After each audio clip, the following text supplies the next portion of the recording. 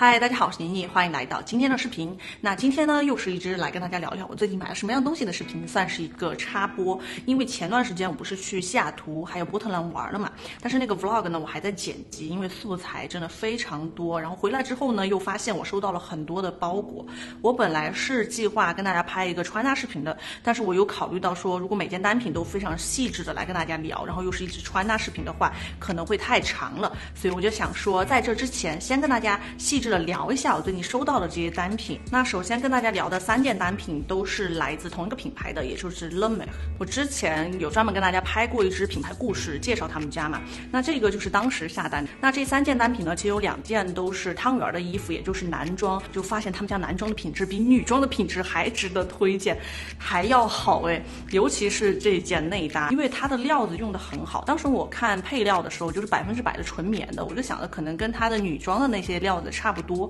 结果收到之后发现它的整个光泽度，然后细腻的程度都不是属于我们平时会见到的纯棉的材质的感觉。大家从视频里面应该就能够看到它这件纯棉衣服的那个光泽的程度了，就摸起来非常舒服。所以你穿在身上的时候呢，整个亲肤感也是非常非常好的。那另外还有一件是给汤圆买的一个 T 恤，因为汤圆平时在家里面就穿 T 恤比较多嘛。那接下来另外一件单品呢，就是在 The Mac 他们家买的一条丝巾，这个丝丝巾。是汤圆看到的，当时汤圆看到这个丝巾的时候，就立马让我来看，就是我们两个就火速下单了的。其实这个丝巾我不打算把它当做正儿八经的丝巾来使用，我是想要把它框起来，当做是家里面的一个挂画来用的。那这个丝巾呢，其实是 The Mac 和一个艺术家的联名系列。那这个艺术家的名字呢是叫 Joseph Yacon。其实我们在看到这个联名系列之前，我是不认识这个艺术家的，但是当时看到这个联名之后，就非常喜欢它上面的这种印画嘛，我觉得整个色系非常的好看。是属于在我审美范围内的作品。那这个艺术家他的画作，我觉得就非常像我们之前住在纽约的时候去看过的大都会博物馆的一次展览。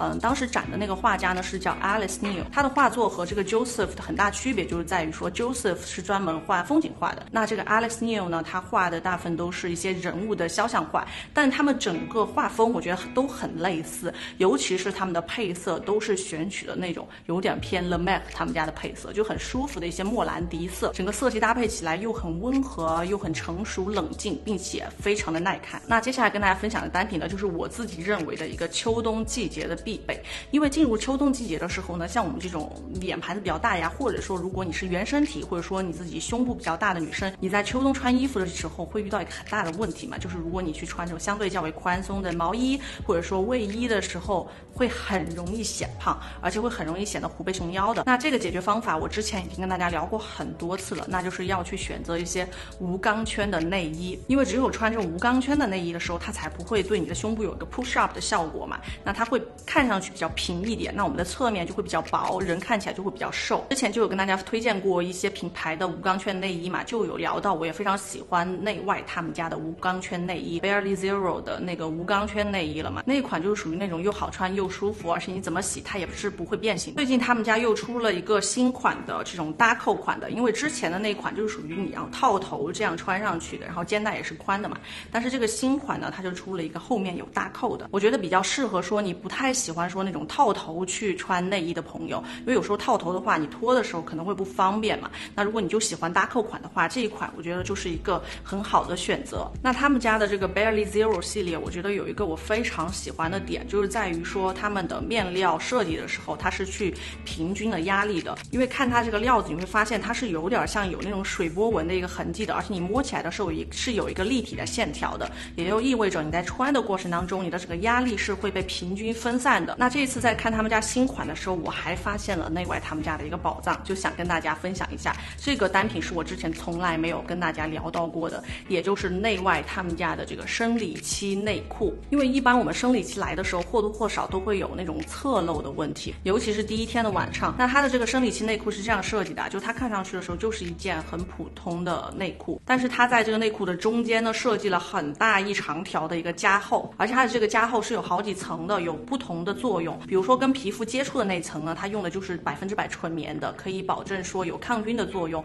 而且会比较亲肤嘛。那中间还有两层呢，是属于做的吸水和防漏的。反正我现在在生理期的前两天，我都会穿这个内裤，就完全不用担心有任何侧漏的问题了。我就觉得真的是超级省心。那这一次我在逛内外的时候。候，还发现了他们有出很多除了内衣以外的一些服饰类单品，比如说有居家服，还有一些健身服。我就想说尝试一下他们家的这个健身服，我就买了一条他们家这个 legging。那这个 legging 我觉得最大的特点还是在于说它的面料，就它的整个面料是属于那种非常非常柔软，然后舒适、很亲肤的类型。就你穿上的时候，你会觉得说它是在很温柔的包裹你的全身，就是跟你的皮肤的接触都是非常非常舒适的。然后我穿着它去健身的时候呢，我觉得它也要比我其他的 legging 要更加吸汗一点。就如果你流汗的话，你也不会说觉得会冰，就它一下就吸汗，然后排汗出去了。而且再加上这个 legging，它的整个长度很合适。就大部分美国这边的一些运动品牌吧，就它在设计裤子的时候，我觉得有时候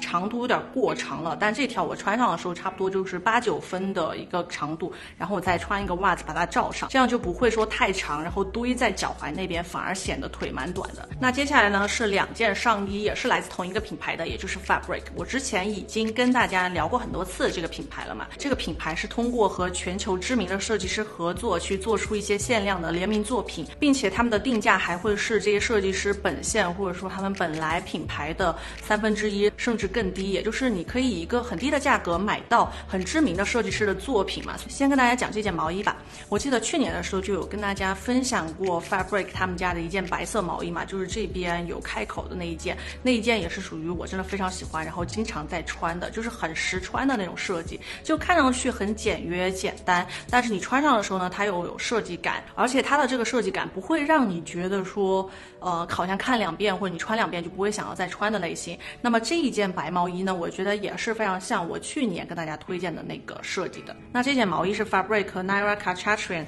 啊联名合作的。那这个设计师呢，他是属于时尚针织领域的一个专家，最擅长的就是针织的特殊技术。我当时看到这件毛衣的时候，其实主要被吸引的就是它的这个立体的针织技术。我很少在其他品牌里面能够看到这样的技术的。那像这个立体编织的整个概念，我觉得。经常会出现在建筑上面会多一点儿，比如说是像北京的水立方的那个建筑，也是属于那种整体呀，都是利用重复的一个立体的线条去做出一个比较独特的感觉嘛。我记得 CDG 就是会经常去玩这种立体的编织概念的，而且也因为它的这个立体肌理啊，我发现上身之后会比你平面看到的时候会更加的好看，因为它的这个立体肌理会有这种凸起嘛，就是会有一个线条出来，比如说在袖子的部分，它还会有一个很好看的弧。度也就是一件穿上就很不一样的衣服，而且它的这件毛衣的料子也很好，它的面料是百分之百的绵羊毛的，就很像是我去年跟大家推荐过的那件毛衣，就穿上的时候非常的亲肤和保暖，你也不会担心说这件衣服就是一件很好看，但是却一点都不适穿的衣服嘛。因为我觉得冬天买毛衣最重点的还是需要说它能够保暖，而且比较亲肤舒服才行。那接下来的这件衬衫呢，就是当时我在逛 Fabric 的时候看到这个照片儿，我就立马为之疯狂的，就就立马觉得说啊，这件衣服。服是我的衣服的类型，它是属于这种渐变色，然后搭配皱褶，就是这种压褶设计的衬衫。那这件衬衫是 Fabric 和 Roderick Wrong 他们联名合作的一个系列里面的一件衬衫啊。那这个设计师他们最出名的就是属于去利用这种简洁的印花和压褶的设计，去设计出不一样的单品嘛。那当时我看到这件压褶衬衫的时候，我觉得它是有去延伸三宅一生他们家的那种压褶的理念的，但是它有加入更多的一些细节的设计，是属于更时髦。然后更有个性的一个版本，比如说这件衬衫你穿上的时候啊，它就是属于那种收腰的款式，因为它的整个褶会跟三宅一生的那个褶会比较不一样。他们的这个褶，我觉得是偏向于会更加的不规则一点，会比较像腐竹上面的那种褶。因为你如果看三宅一生上面的褶的话，你会发现它是有点像风琴一样的，就是每一格都很规律。但是这一款压褶呢，它就比较像腐竹那种，会有一些弯弯曲曲的感觉，我觉得会更有东方柔美的风格出来。而且也因为它的这个压褶，所以我。我们穿在身上的时候呢，它会更加贴合我们的整个身形，所以它在腰部的部分也就会比较收腰一点。而且不同体型的人穿出来的效果也是不一样的嘛。而且再加上因为它的整个印花是属于这种渐变色系的嘛，我觉得在视觉上看起来也会非常的舒适，就属于那种非常耐看的印花。另外这个衬衫它还有一些设计的小细节，比如说它的纽扣这边就选择的是这种珠扣，有点像我们中式的那种盘扣啊，就它直接套在上面的那种扣子。而且除了前面是个扣子以外呢，它的肩膀的部分也是设计的这个扣子，你可以自己选择把它解开还是扣上。扣上的时候呢，就是一个很简单的一件衬衫的版型，但是如果你把它解开的话呢，它这边就有点像是一个袖套一样，就像是你的这个衣服是假两件的那个效果，可以露出一些肩膀的线条。那像这种衬衫的版型在搭配的时候也很方便，就无论是搭配裤装还是在下半身去搭配 A 字的半裙都是很好看的，因为这件衣服它本身就有收腰的线条了，你也不用担心说它露不出腰线，然后显得人矮的问题啊，种种这些问题都没有。那接下来跟大家分享就是来自 Petty Studio 他们家的单品了，总共有三款。首先想先跟大家聊的是这件毛衣，那这件毛衣我当时看到的时候，首先是被它的领口吸引的，就是它的这个翻领的部分。那我喜欢这个领子的点其实是有两大点，第一个呢就是它的这个领口做的是一个 V 领的效果，你自然穿上的时候它就是 V 领，就非常适合我这种大头大脸的人，然后你整个脖子可以有一个延伸的线条。你看我就穿很多的毛衣，我都会想把这个第一颗扣子解开，可以有一个 V 领的线条，整个人看上去会更大气一点，就不会显得非常的局促。另外一个我喜欢它这个翻领的部分，就是它是属于这种拼色的翻领嘛，就是在这里做了一个白色的领口，所以你在穿上的时候呢，就会自带的有一个层次感，就会多一些些正式的感觉。而且它的整个翻领设计的也比较大，就是这样平铺过来的。那对比下来呢，也不会说显得脸大。一般我在选择，尤其是秋冬天的翻领的时候，我都一定要选择这种大翻领的。如果太小翻领的话，对比起来就会显得好像你脖子有点粗啊，或者说脸比较大的问题。那这个毛衣整个穿上身的风格，我觉得是偏向于比较学院风一点点的，就因为它这个拼色的翻领，然后再加上它的这个配色嘛，就是属于这种电光蓝配白色，就看上去整个人很清爽，就会有一些些少女的学院感出来。那这件毛衣的搭配方式也很多，就是在刚刚是初秋的时候可以直接单穿，那天气再冷一点的时候，就可以在里面去进行叠搭，因为它本身 V 领嘛，这边就是露出来的，你去进行叠搭的时候也可以很好的被看见，就不会说挡住，然后整个人显得更加的局促的那种效果。那到了天气更冷的时候，还可以在外面去搭配外套，而且也因为它的这个翻领，它是属于拼色的效果嘛，所以就算你只是搭了两层，然后把领口翻出去，它会有你叠搭了三层的一个效果，会比较事半功倍一点。那这件毛衣的料子呢，也是百分之九十的马丽奴羊毛搭配了百分之十的羊绒，所以穿上的时候也是既保暖又舒服，而且完全不会有扎的情况的。那另外一件 Petty Studio 的单品呢，就是这件棕色的一个线衣开衫，它的整个上身效果也是属于那种偏向于比较紧身的，所以我很推荐给原身的朋友，就你穿上的时候就不会有大份宽松毛衣的那种会有显胖的一个嫌疑，你可能就在搭配的时候可能会需要规避一下。但这一件呢，你就可以在里面搭配内衣的时候去搭配，嗯，push up 的内衣，尽可能的去显示你的曲线，整个人看上去就会非常的精神，非常的好看，就有那个立体度出来嘛。因为它在穿上身的时候，袖袖子然后腰部这边都是完全紧贴你的身上的，而且这件开衫还有一个我非常喜欢它的点，就是它的这个拉链。是可以双向拉的，那我们就可以把下面的这个拉链拉上来，拉上来之后呢，整个衣服的线条就会有一个自然的展开的感觉嘛，而且你也可以把你的腰线提高，那我们在搭配的时候，整个灵活度也会高很多，你也不用担心说你到秋冬天去搭配一件很 crop top，然后很高腰的衣服，然后又无法跟你的裤子连接，然后你的腰露出来又很冷，那这种衣服就可以完美的规避掉会漏风然后冷的问题，但同时呢又可以帮你抬高腰线，整个人的线条也是很好看的。那像这一类的单品。我的搭配思路呢，也就还是说会去搭配一些普通的，比如说一些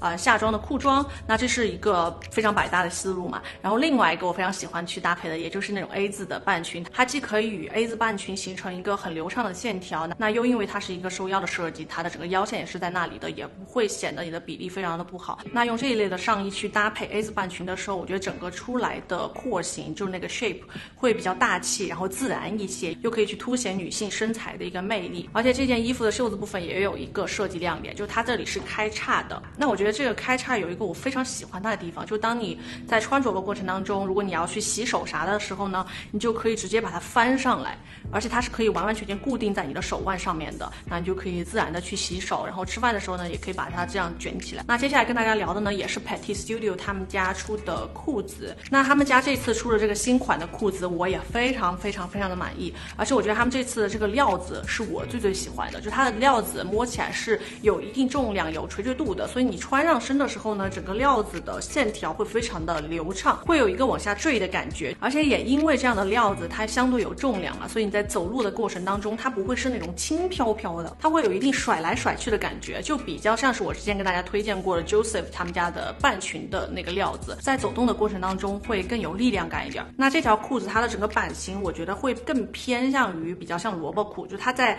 我们的臀部的那个地方留有了比较大的空间，所以说我是非常推荐给梨形身材的朋友的，就你穿上的时候不会有说臀部那边比较紧绷的一个情况。但是呢，它相较其他萝卜裤的一个裤型呢，它又有一个地方设计的稍微不一样，也就是它在裤脚的部分不会像其他的萝卜裤收的那么那么的紧，上身之后它还是属于一个比较直筒的状态的，就是你穿上它是属于比较大气的，而且这条裤子它也是属于在后腰这个部分做了松紧带的，所以你也不用担心说穿上的时候会有勒的情况，它会有一个比较自然的调节，而且也因为这个松紧带，我发现它有个优点，就你穿上的时候，它会跟你的臀部那个部分会比较贴合一点，会显得我们的臀部更翘一些，就不会说像很多的裤子穿上之后会显得我们的臀部有点塌。那这次的这个裤子，因为我非常喜欢嘛，所以说我就直接入手了他们家的黑色和米色。那黑色就不用说了，就是属于非常基础百搭，然后又耐脏耐穿的颜色。所以我想着重的跟大家分享一下这个米色，因为我觉得这次的这个米色是属于比较惊艳到我的。它的整个颜色会比较像那种奶油白，就是会稍微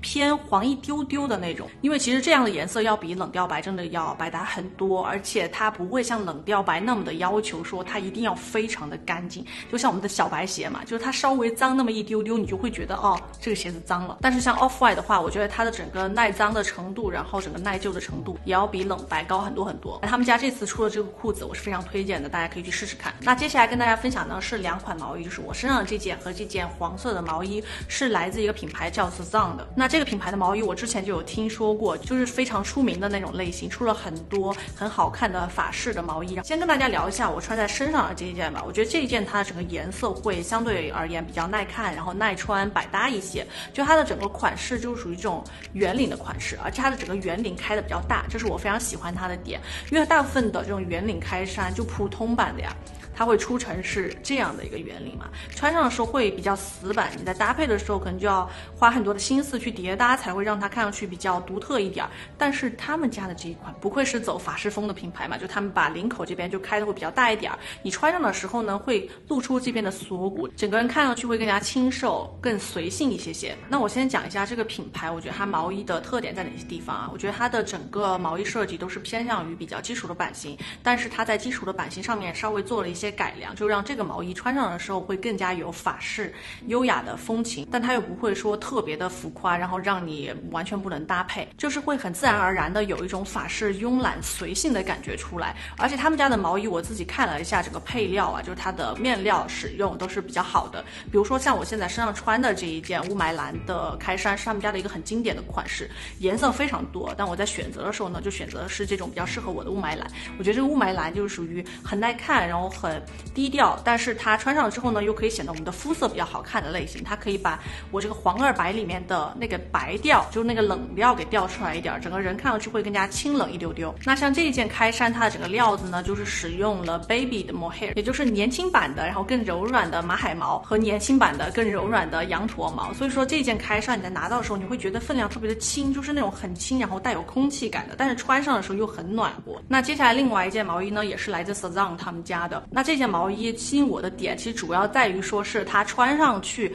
给人带来的一个氛围感，就来自于它的这个颜色和它这个毛衣的毛质，因为它就是呃马海毛嘛，而且是属于那种很长毛毛的，就是很毛茸茸、很温暖的一个料子。那再配上这个亮黄色的时候呢，我们走在阳光下，整个人就是金光闪闪，然后再加上那个长毛毛，会有一些雾蒙蒙的、很可爱的感觉。这是我当时入手这个毛衣的原因。但是这里还是要跟大家提一嘴啊，我觉得这件件衣服如果你要入手的话，真的就是为了它的这个氛围感去入手的，也就是它这个颜色和这个毛质。但如果说你是希望它是作为一个很百搭的毛衣，然后你到了秋冬天的时候呢，还可以去作为叠搭，然后外面再去穿大衣的话，它可能真的就会有一点点积累。为什么呢？其实主要就来自于它这个毛质，因为它主要的料子就是马海毛，然后配羊毛嘛。但因为这个马海毛这种长毛毛的就没有办法，它有个很大的 bug，就是它会掉毛。所以如果你身上穿的是属于那种羊毛制品，比如说像是大衣的那种衣服的话，它会粘毛的话，它就会粘的你那些衣服上全部都是毛，会很不方便。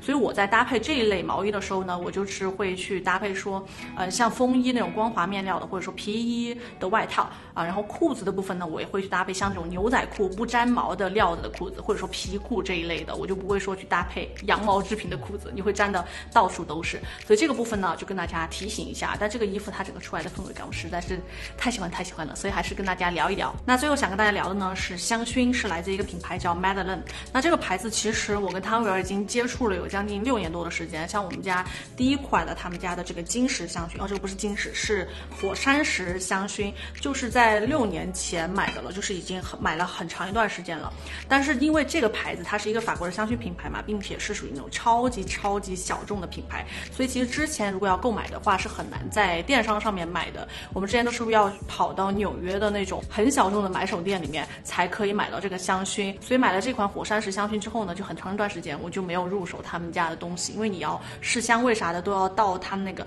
很小众的店里面去试才买得到嘛。但前段时间我发现很多电商都有上他们家的香薰了，所以我就立马入手了他们家的两款香薰蜡烛。那我先讲一下这个品牌最吸引我跟汤圆点在哪个地方啊？主要第一点呢，就是在于说它的整个容器和它的整个风格，就走那种铁器时代的一个古朴手作感的，因为他们的整个容器全全部都是这种钢材或者说铁器嘛，都是使用人工去打磨，然后去敲打，然后把它敲出一个形状的，所以你可以发现他们的整个容器的 shape 不会说是那种很工整的，就是属于那种很好看的一个手作感。那这个品牌他们家的香味也是我跟汤圆非常喜欢它的一个点，因为我们家买的第一款的这个火山石香薰，当时选味道的时候就选的是他们家的一个叫 Dark Wood 的这个味道。我们现在已经闻这个味道闻了有六年的时间，我到现在都依旧非常的喜欢，因为他们品牌的香味都是以大自然的那个味道作为基底的，但是又在那以上增加了更多悠扬。勾人的香气，我也不知道要怎么去形容啊，就很像是你走进了一片茂密的森林，然后你站在那个悬崖上，然后就看着那个广阔的大自然，然后闻着那些树木的清香。这个时候突然之间飘来了一缕花香，就那种沁人心脾或者说勾人的花香过来，就会觉得妖娆的个不行。像他们家这个 Dark Wood，我当时第一次闻到的时候，就是会显现出这样的一个印象。那他们家的这个火山石香薰也是我最推荐的他们家的一款产品。然后后来也出了金石香薰。这次我们去西雅图嘛，然后我们西雅图的朋友他们是刚刚搬进了新家，就新买的房子，我就想说选一个什么样的 housewarming 的礼物给他们呢？当时我就选择的是他们家的那个金石香薰，我也是想要尝试一下他们家那个金石香薰嘛，然后选了另外一个味道也非常非常的好闻，我会把那个味道的名字打在下面。所以我觉得他们家这个金石香薰吧，或者说火山石香薰都是非常适合去作为礼物的，因为我一般在选礼物的时候，我都是希望说这件单品它。它是真正真正有实用价值的，而且可以给这个人带来一定的情绪价值，然后又会比较独特。再加上很重要的一点就是，我不希望它是属于消耗型的，就属于那种可能用一下就没有的。我希望它可以啊一直的待在这个人手上，然后它可以一直不停的使用，这样我的心意才可以很长时间的能够传达到我朋友的。心理嘛，那另外再跟大家讲一下我最新入手的他们家的一个香薰蜡烛，这个是我自己盲买的，因为他们家的香味我们之前在那些买手店里面也也都已经闻到过了，基本上没有我会踩雷的。那这个香薰蜡烛的味道有两个，一个是黑色阿富汗，另外一个呢是四川。这个黑色阿富汗这个味道呢，我觉得就是属于那种相对而言其实还蛮常见的味道，嗯，比较像是我之前跟大家推荐过的那个二二二二 Studio 他们家的香薰，就是那种烟熏的老木头的味道嘛。啊，这个味道我觉得，如果是你第一次尝试的话，其实可以不用先入手这个味道，你会觉得不是那么的独特。另外一个。这个四川的味道是我最推荐的。那这个四川的味道呢，它里面是有佛手柑，然后有绿茶，还有黑胡椒的味道。整个调节起来的时候，我觉得怎么说呢？就作为一个四川人，你会觉得你依稀有闻到过，但它不会带给你回忆的感觉，不像是比如说栀子花这种很独特的味道，一下子能够把我抽离到童年，然后小时候路边的栀子花。那像这个味道呢，我觉得它比较像是一个老外，然后到四川去旅游，然后他带着一些他自己的经验。所调制出来的四川的香味，所以作为一个本地人呢，当你在闻到这个味道的时候，你会觉得说你在看一个外地人去讲述他对你所熟悉的这个城市的一个感觉。但是这个香味我又是很喜欢的，所以它的这个名字的四川，我觉得在念的时候呢，就就应该念成老外那个发音四川。那如果大家要我推荐香味的话，嗯，排名我第一个还是要推荐我们六年前买那个 Darkwood，嗯，第二个就是这个四川，第三个才是黑色阿富汗。主要是跟大家安利这个牌子，啊，大家可以去尝试一下看看。那么好了，这就是我今天的一个购物分享，算是一个插播吧。然后希望你们喜欢。那我们下次再见，拜拜。